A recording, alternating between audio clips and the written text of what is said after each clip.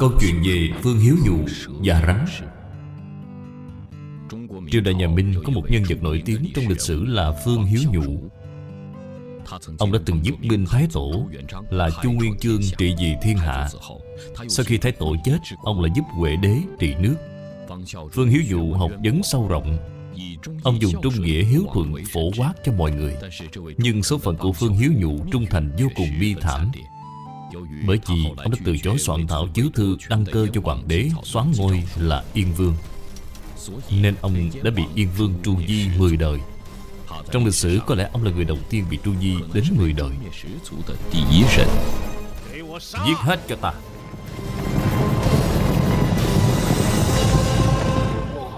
Không xong rồi.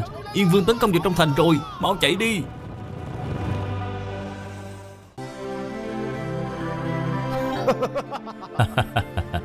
Bây giờ ta đã là hoàng đế nhà Minh rồi. Thưa Yên Vương Ngài muốn làm hoàng đế Vì trước tiên Ngài phải ban bố chiếu thư đăng cơ Tuyên cáo khắp thiên hạ mới được à? Ừ, người nói rất có lý. Chiếu thư này nhất định phải tìm một người có tài văn chương đến viết mới được. Người nói xem Trong triều đình chỉ đại thần nào viết chữ đẹp nhất vậy? Nếu nói về chữ viết Thì đại học sĩ Phương Hiếu Nhụ là đứng đầu. Nhưng mà Nhưng mà sao?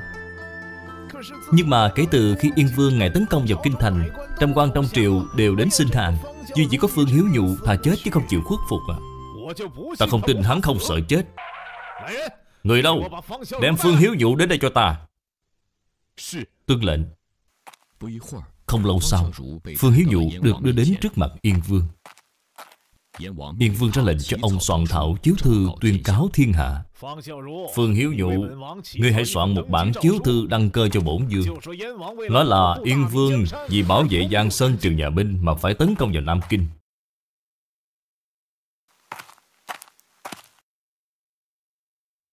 Yến Vương xoán vị. Ây da! Phương Hiếu Nhụ nhà ngươi Ngươi viết ra những lời như vậy Chẳng lẽ ngươi không sợ ta tru di chính đời nhà ngươi hay sao? Ngươi là tên yên tặc Âm mưu đoạt ngôi.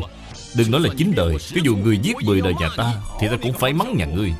Được Phương Hiếu Dụ Hôm nay ta sẽ tru di 10 đời của nhà ngươi. Người đâu? Hãy đem toàn bộ già trẻ lớn nhỏ trong nhà họ Phương Chém đầu hết cho ta. Theo lịch sử trước đây chỉ có tru di 9 đời. Sao lại có việc tru di đến 10 đời để tru di cho đủ 10 đời, Yên Vương đã đem thầy giáo và học trò của Phương Hiếu Nhụ liệt kê làm đời thứ 10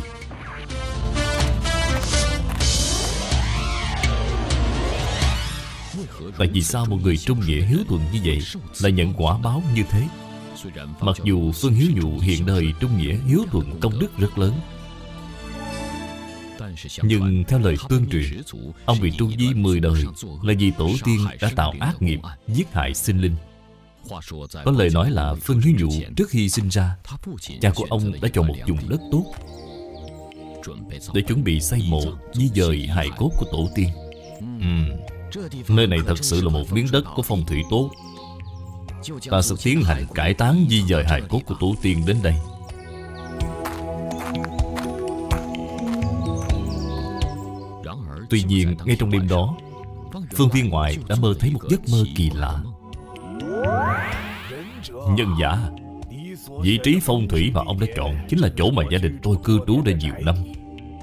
Tôi cầu xin ông Hãy trì quản cho tôi ba ngày. Để con cháu của tôi dọn đi hết, Ông hãy đào đất lập mộ. Tôi nhất định sẽ báo đáp đại ân đại đức của ông. Ông nhất định hãy đợi chúng tôi thời gian ba ngày. Ba ngày sau, nhất định chúng tôi sẽ dọn đi ngay. Ba ngày sau, Xin ông hãy động thổ. Ờ, thì ra là một giấc mộng. Lão gia, có chuyện gì vậy? Không có gì. Tôi vừa mới nằm mộng. Mộng thấy một ông lão mặc y phục màu đỏ. Muốn tôi sau ba ngày nữa Hãy đồng thổ lập mộ. Còn nói là gia đình của ông ấy Đang trú ngụ ở đó. Nên xin tôi cho ông ấy thời gian dọn nhà đi. Đây thực sự là một giấc mộng lạ. Hay là chúng ta đợi ba ngày nữa Rồi hãy đào đất lập mộ vậy? Cảnh mộng là hư ảo không thật. Như có như không không đáng tin đâu.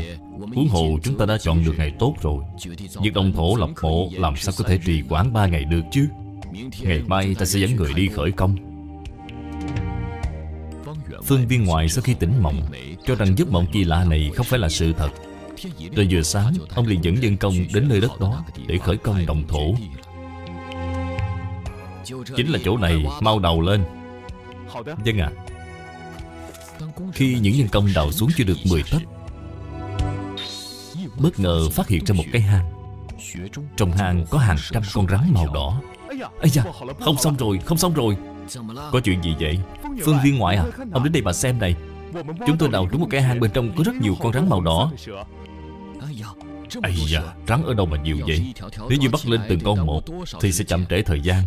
Nếu thế thì hôm nay chắc chắn sẽ không cách nào lập mộ được rồi. Lão già, ông nói xem những con rắn màu đỏ này Ý giấc mộng tối hôm qua có liên quan với nhau không vậy? Đây chẳng phải là họ đã báo mộng cho mình biết rồi sao? Tôi không tin có việc như vậy. Tiếp tục thi công Hôm nay phải lập mộ cho xong. Phương viên ngoại à Ông xem những con rắn này Nếu không bỏ chúng ra Chúng tôi làm sao mà tiếp tục đào đất được chứ? Những con rắn dễ thôi mà Chỉ cần dùng lửa trực tiếp đốt chết chúng thì xong rồi Thế là phương viên ngoại đã cầm một ngọn lửa Thiêu cháy hết toàn bộ những con rắn đỏ trong hang. Tối hôm đó phương viên ngoại lại nằm mộng thấy lão y phục màu đỏ. Gương mặt đầy vẻ hận thù Nghiến răng đứng trước mặt phương viên ngoại. Tối hôm qua tôi thật lòng cầu xin ông. Nào ngờ ông đã đem toàn bộ 873 con cháu nhà tôi thiêu chết hết trong ngọn lửa đó. Ông đã tàn nhẫn tiêu diệt hết cả họ nhà tôi như vậy. Tôi cũng phải báo quán tru di cả họ nhà ông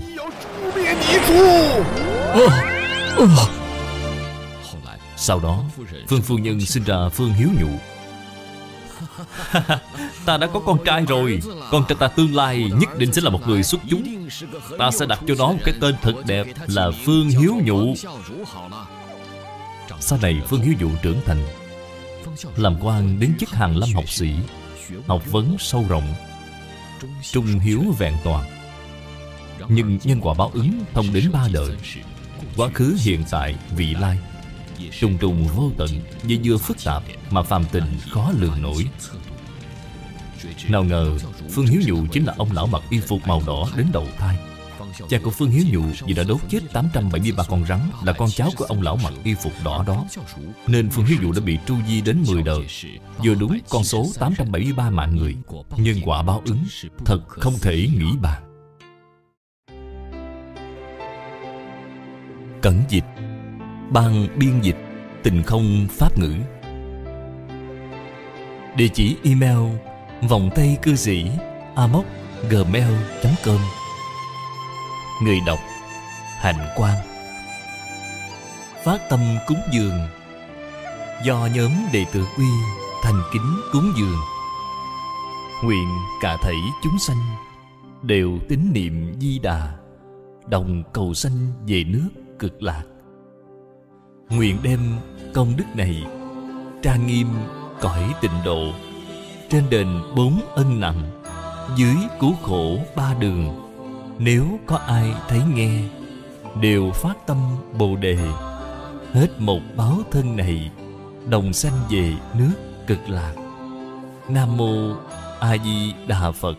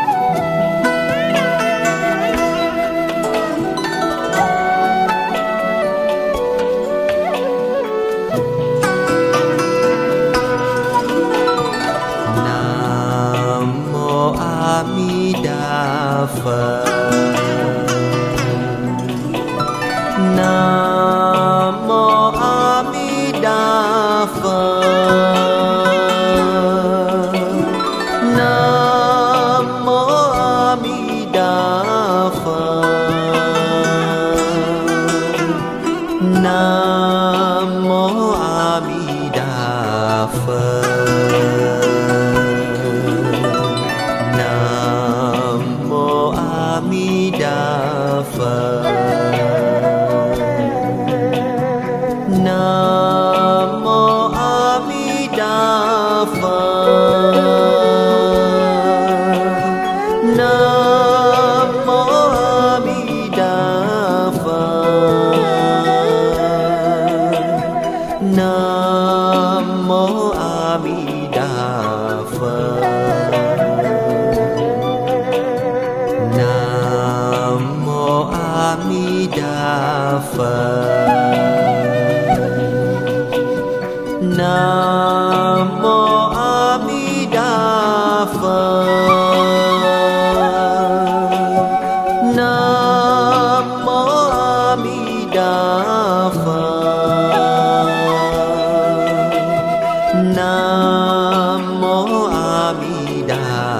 Phật